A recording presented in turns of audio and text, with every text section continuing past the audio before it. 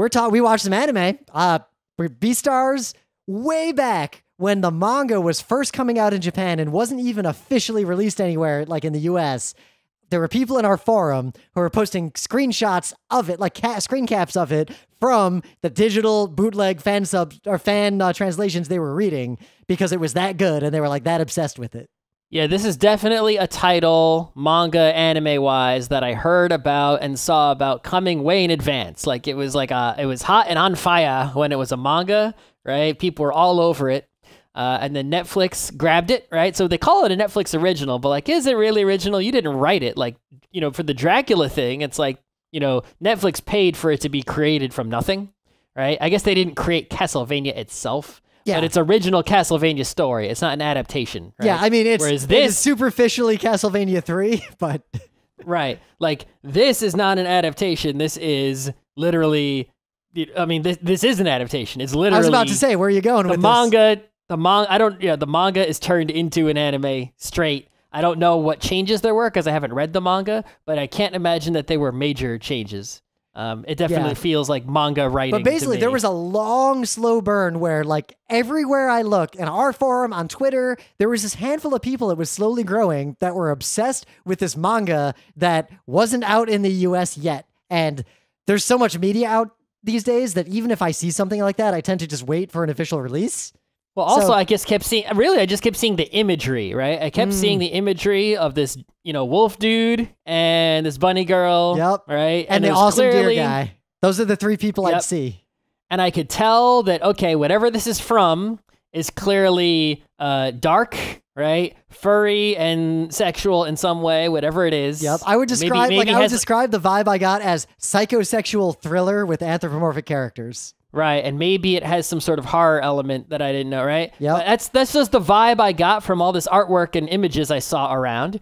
Um, you know, and it was a Netflix, I guess, original, right? And that Netflix paid An and made- OAN instead of an OAV. I guess you know Netflix said, okay, we'll we'll license that manga and we will pay for a production of an anime based on that manga.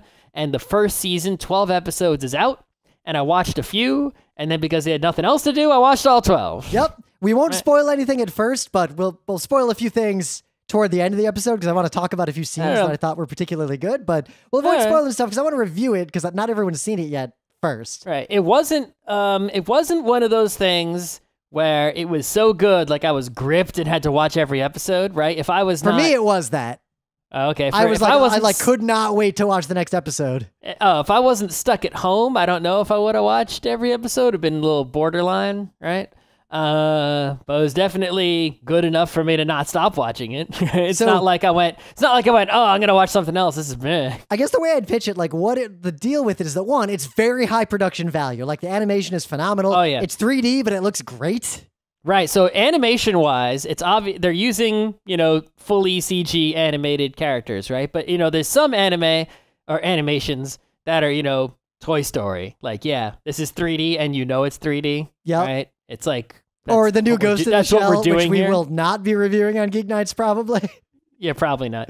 Um, but is re- Ghost in the Shell is relevant to this to Beastars uh, Yep. in a small way. yeah. uh the it's also not one of those ones where okay it's a 2d anime but we're using the computer to help us out right? Like you know every uh, 2d anime these Yep. days right? Uh, pretty much every single 2d anime 2d anime these days is animated on a computer digitally.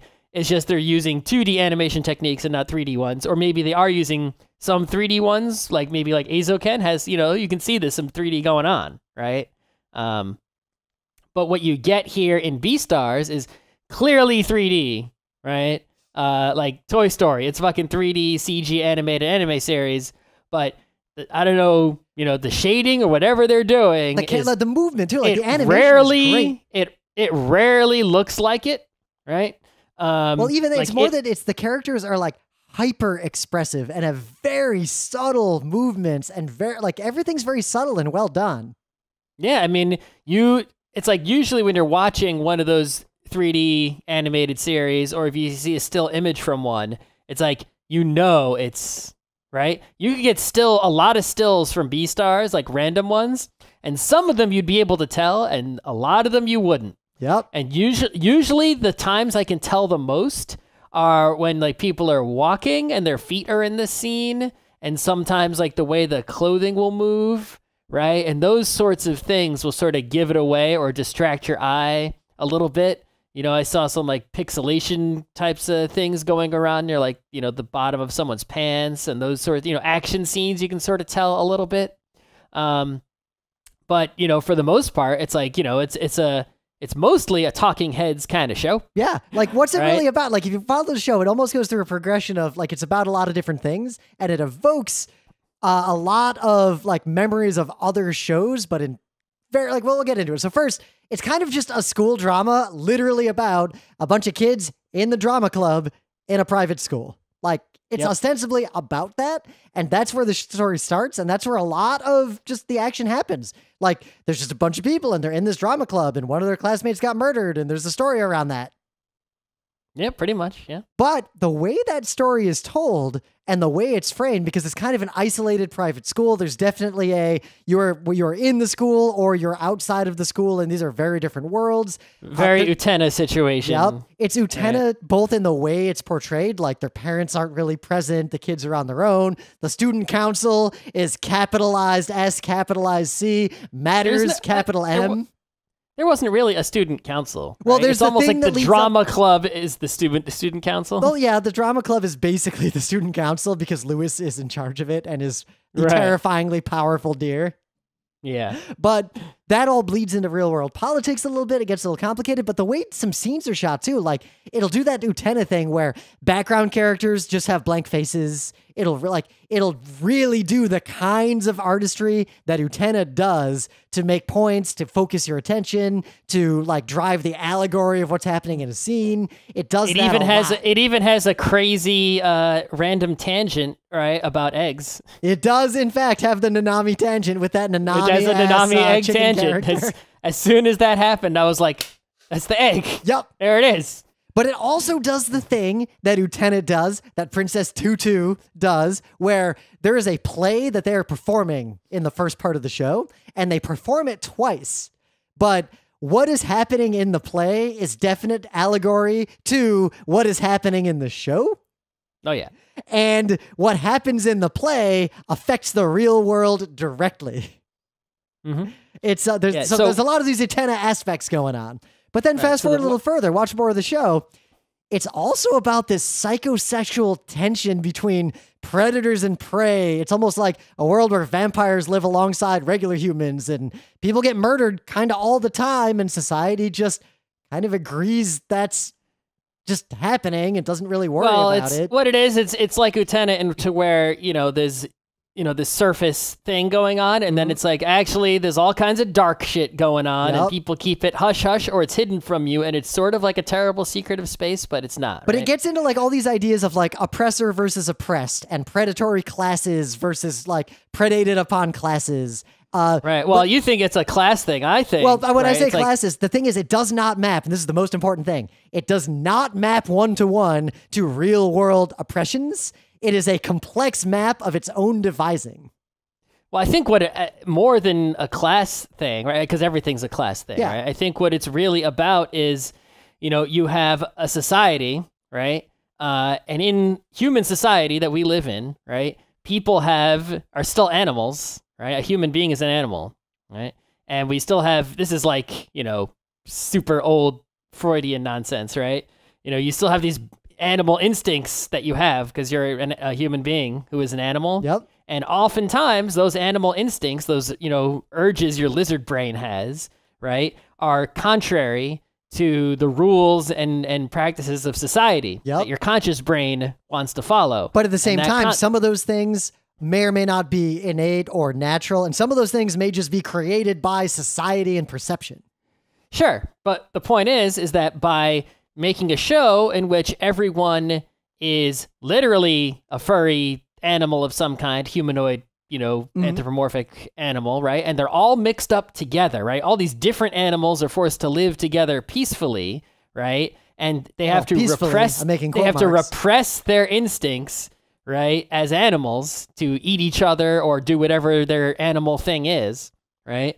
Uh, to live peacefully together because normally, right? The you know Cromartie, the rabbit in the lion's den. Yup.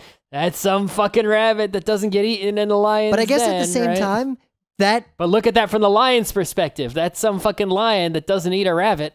But that structure lets it explore these really interesting issues because in the world of Beastars, some of these instincts are real physical manifestations. Like you can't the predator drive is like legit real. It's Mhm, like you mhm. can't the show will not argue that there is a like social construct around that. But I mean, it's real for a real wolf too in the woods. Yeah, but I'm saying in the hungry, show- hungry wolf's gonna eat you. But in the show, they use this. So you've got a human s character who has, you know, who is sentient, who has these real drives, but simultaneously, some of the things that are going on with what these characters feel is either performative or clearly is driven by society. So it starts mixing up gender roles, predator prey roles, and just societal roles together. And because they don't map one to one with the real world, it ends up letting you explore things that we don't have real world analogies for. Right. Well, I mean, it's it's just by combine, you know, the, the just bringing the animal, you know, metaphor on top of humanity, right? Just makes it way more complicated, but also way more sort of obvious and visible, right? Hmm. And it especially applies when you look at like the messaging around, you know, vegetarian slash veganism, right? Mhm. Uh, you know, the society makes it so no one's allowed to eat any meats, right? Because meat is someone else, even though there were insects that were not sentient. I just want to point that out. Yeah, we'll just let that be. There's no that's, bug that's a people. Pokemon question. There's there's mammals and there's birds, and that and all other all other animals are not. Oh, was there a lizard person? I don't remember. I don't remember if there's a lizard person, but there's there's definitely mammals and birds. Yeah. I don't know if there's anything else. Uh, regardless, um, oh, but there's no monkeys. Maybe there is. Maybe Were haven't seen. I don't know. But like, let's look at the main remember. character. like, Regardless. Gosi, to see where I'm getting at this with this not having a one to one mapping. So we've got the main character is this shy, quiet wolf guy who's just full of teen angst. Like he's just an angsty teenager, and that's his Mhm. main thing. He has a real predator drive where He's a big, giant, powerful, scary wolf, and he loses control of is. himself and almost eats a classmate. Like that happens right, pretty he's, early on. he's trying not to. Right, it's like he doesn't. You know, his conscious brain doesn't want to, but his animal instinct is, "I'm a big, scary wolf, gonna blow your house down." But Woo. simultaneously, it gets more complicated because there's another wolf in the show who is a female wolf who expresses and feels that instinct very differently and acts very differently, even though she may be feeling very similar thing. Like the two characters, despite both being wolves, have very different problems to solve, approach them very different ways, and perceive themselves and the world around them differently. So already, it's not as simple as uh, wolves feel this pressure. But the, but also, a lot of the other predators have this machismo and this bravado, and they fight with each other in ways that this angsty wolf does not want to. He's not interested in all this nonsense. He almost doesn't want to be the what like he doesn't want to fill the role that society says predators should fill. Right. Well, his body does. Right? But body does, his mind does not. conscious, His conscious brain does not. His conscious brain wants to be like a nice guy hanging out in society. Everyone gets along peacefully, but his body sometimes doesn't let him because it's a big, scary Yep. wolf body. And it almost gets into it's not the feminine mystique, but it's a similar that idea of some of the things he feels are intrinsic and real to his physical form, and some of the things he feels are societal roles that he rejects and are not intrinsic to him. And the show does a really good job of exploring the interplay between these two ideas while everything develops.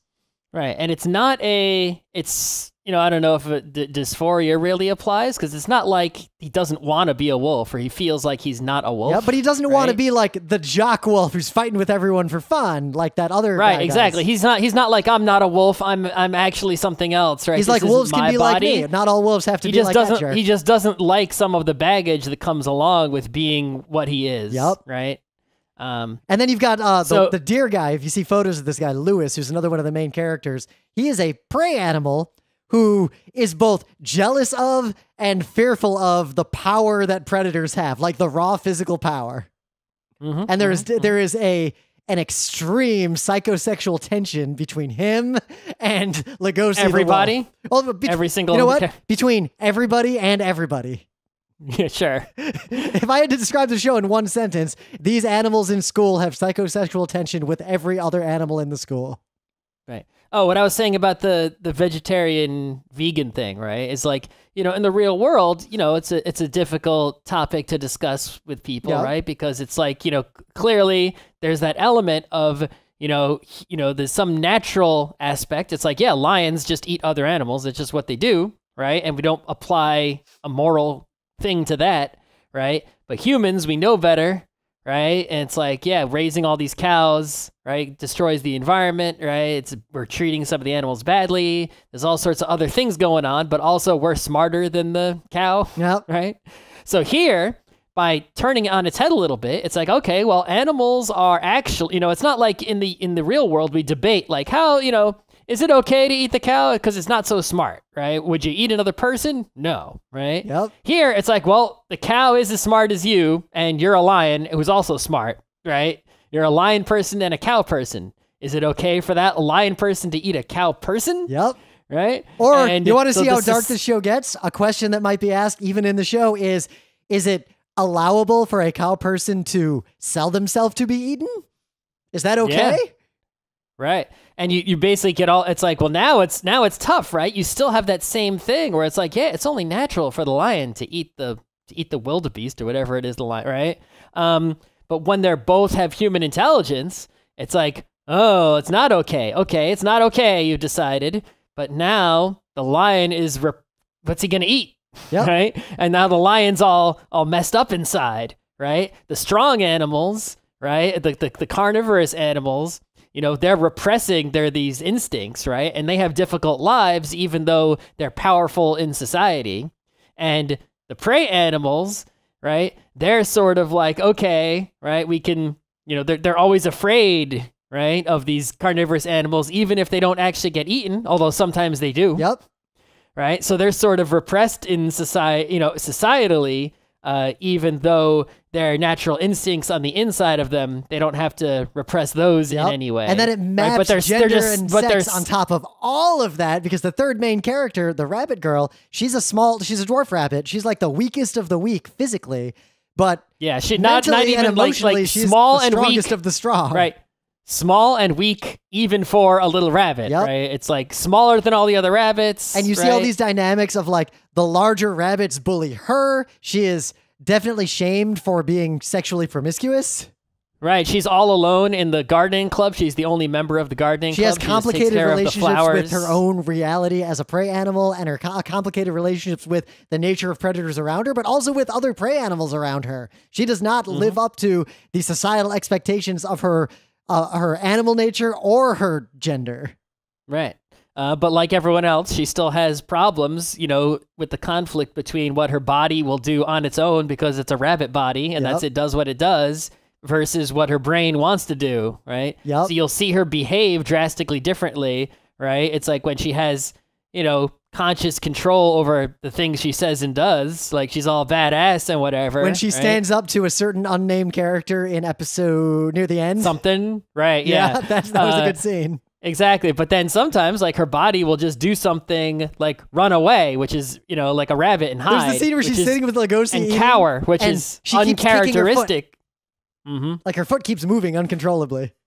Yep, because her body is scared because there's a big bad wolf right in front of her. Yep. So her leg keeps trying to run away, even though she has no desire to run away. She's just chilling and eating nice lunch with somebody. Yep. So all of that alone can make a pretty compelling like thriller set in a high school. Like that's mm-hmm. enough, right? It and there's so many different things you know you can you can say with that setup of you know about human society. Yeah, you could make you could make a call like a hundred episode series just with that, but Mm-hmm. that kind of just sets the stage for what the show seems to really be about. Because even in this first season of the anime, by episode nine, the school politics are intersecting with the real world politics. The the path, like the deer's path, Lewis's path through being the head of this drama club and getting out of the school is like a political path where he is working with the mayor, who is a lion, who is like legit connected to the mafia, and that matters directly in the show pretty early on. Mm-hmm. Li- And then that starts getting into this interesting Mafia. It's the like- it's the yakuza. It's not the mafia. well, yeah, it's the yak. It's the cry. It's a well, the Shishigumi in particular, one criminal organization. Yeah. But all of that starts happening, And the show starts to get a little broader in scope that it's not just going to be about these angsty teenagers dealing with this society. It's starting to show this class separations of the school is almost literally a fantasy world compared to the real world outside it. Right. Much like Uh, in and the Right. And the final thing is the title of the show, which is Beastars, right? It's a, it's- how many times does an anime say the name of the anime in the show and it is not terrible? Right. So uh, during the show, several times it comes up that some animals are, you know, some people, whatever you want to call them, are, are become somehow become the Beastar or Beastars. Yep. Right. You don't know how many there are, one at a time. Who's the current Beastar? Yep. It's not even addressed. They have not revealed a Um, lot about it. It evokes for me, Right. even in Utena, the like have the ring go into the castle. Well, what does that mean? I don't know, but everyone's Right. What does it do mean to be the rose? I want to. I want to win the rose bride. It's Yep. like that's the same idea. It's like this. They, they some of the people want to become the Beastar or Beastars. There's some unknown process by which you become it. There is some unknown thing you gain by being it. Yep. You don't know who is it. And it appears Um, that what you gain you don't know is when. real power. Like that's a very important point. Kind of like in Utena, the characters are seeking real power, not the power Right, they have we- in this right. fantasy world, but power over the real world to right some wrong or fight some Right. injustice.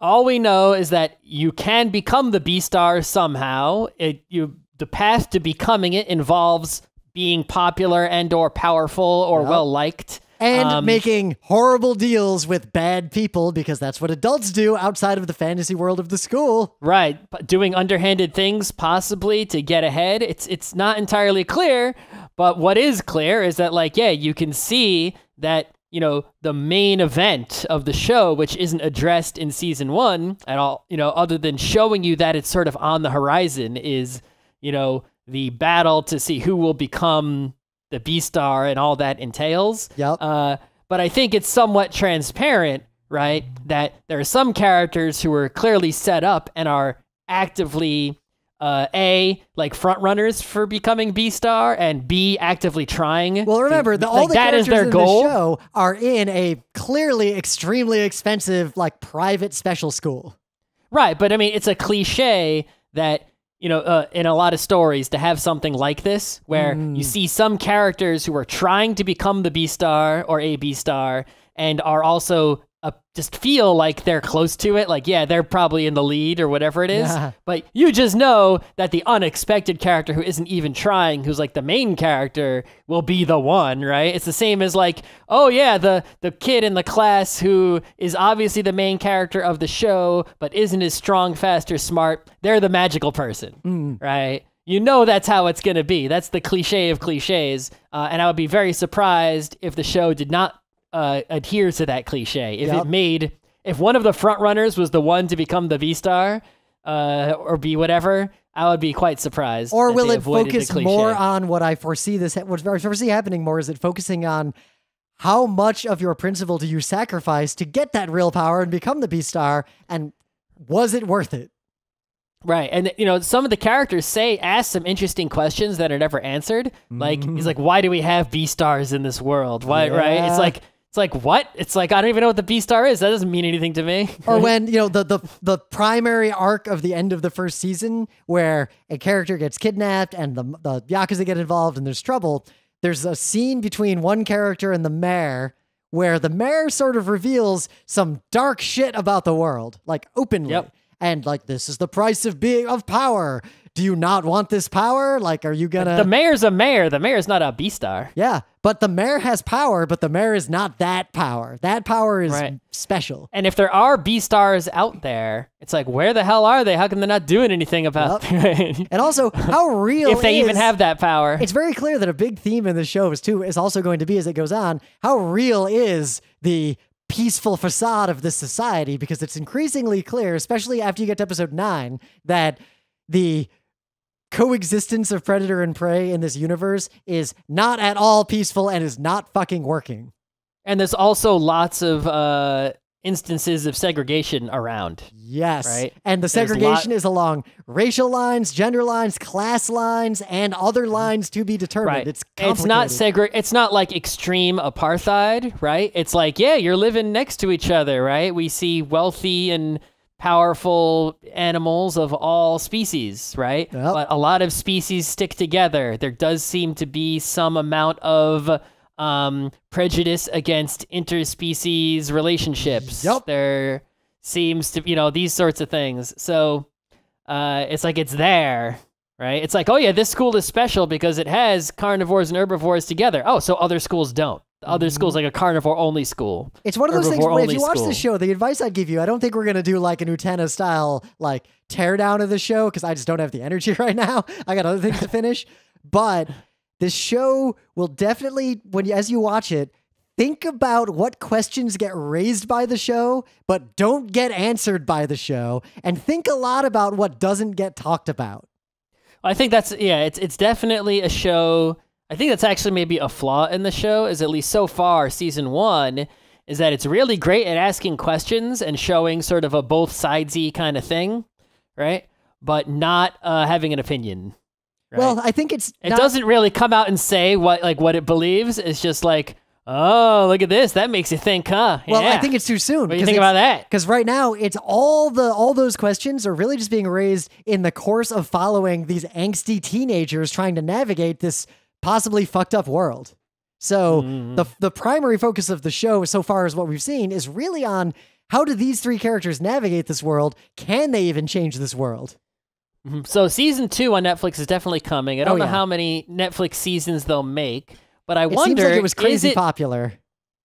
Sure, but would it be better to wait for season two, or would it be better to abandon Netflix and read the manga because you know the manga is way ahead of Yep. where Netflix? Got, I am right? so far planning to just watch the show because the thing, one thing that struck me about the show from a reviewing standpoint is that almost every episode, just when I thought, okay, I see where this is going, something would escalate way faster than I expected. Or something would happen that I did not expect at all, and the show would swerve into a direction that I would I did not anticipate the sanctuary esque thing that happens in episode nine like Mm-hmm. at all. And those mo- and there's a lot of shocking moments that have a lot of impact. Like the anime portrays them really well. Things like characters will say something that even as the viewer, you almost double take for a second. Like, wait, did, what did they just say? What just Yep. happened? So I So almost want to thing- experience that with the rest of the show and not read the manga. So the thing that I think will keep me watching the show, which I alluded to earlier briefly, is the Ghost in the Shell connection. Mm. Is that the best character in the show, the panda? Oh, you love that panda. I do. I enjoy the panda. I saw him to be what he was before they revealed what he was. Like I could see where that character Yes. was going. the panda that clearly is just Batou from Ghost in the Shell Yep. Is obviously voice acted Right by down to like, do I need to go help that kid? is is voice acted by Akira Otsuka, the voice of Batou. When he, Right. when he shows like- up in a particular moment with his bamboo It's the same crossbow. character. It's the same voice actor. It is the best character in the show. All the other characters in the show have sort of you know good points and bad points. Well, like, my favorite character is like or Louis the not like them. Lewis is the interaction. Oh, that's that's just Rym the character. well because he. Well, you Come know on. who he is? He's Toga. Like he's the Toga character in this. Toga, less evil Toga. Well, well, Toga, who might be good and might be bad, and it's questionable. The thing right? is, I don't know if he will, if Lewis will end up being a better person than Toga or a worse person than Toga, because the show leaves ambiguous at the end of season one what decisions the deer may have made relative to other things that were happening at the time. I'm being circumspect because you got to go watch the show. Yeah, I mean that is. I think that definitely is one of the better, uh, like you know, not favorite character like Panda, Yeah.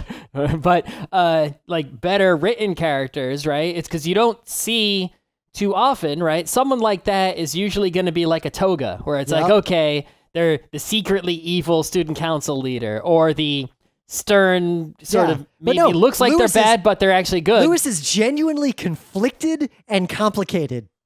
Right, Second guesses exactly. himself, does like changes his saying, mind. but that that conflicted, complicatedness rarely is combined with that personality, right? Right. That personality and that position is usually in anime stories, especially aligned with a particular kind of Yep. character. In Utena, right? Toga is at no point conflicted with himself until the very end of the show. oh, what about that whole part in the middle where he sits there doing nothing? Oh yeah, where he just lost himself, but he's not conflicted. He's just lost. Maybe. He doesn't have to make a decision. He's just done. The thing, Anyway. becoming turns out becoming the Beastar. Is that what's going to happen? Is Lewis just going to be lost for season two and come back in season three? Uh, did you see the the preview for season style? two? Oh, there's a preview. At the, if you if I watch the credits at the end of season of the end of the last episode, there's a stinger that is basically the opening scene of season two, and a Oh. character who has clearly taken a lot of painkillers shows up, and you just see a POV shot of Lugosi turning around and saying, "Oh, hey, welcome back." Basically, like where were you? Mm. Oh, oh, There's a, and and then it ends with "See you in season two.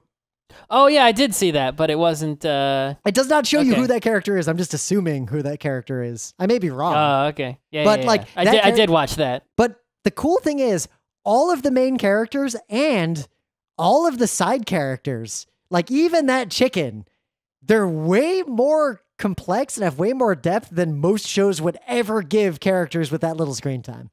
Yeah, they definitely. If a character shows up on screen even briefly, there's like a and has a face and a name, then they they bothered to come up with something about them that is Yep. somewhat interesting. No You know, character is so- straightforward. There's something to chew on, right? Like the It's wolf like- girl shows up. Oh, she's flirting with Legoshi. I see what's happening. The next scene, her and Louis have a moment, and you might think that moment is going to be the moment you're expecting. It might be, in fact, the exact opposite of what you were expecting, and you learn a lot about that wolf character, and things are not what they look like.